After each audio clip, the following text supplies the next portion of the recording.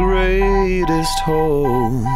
She knows me like no other lover. She knows I'll never love another. Sweet reprieve into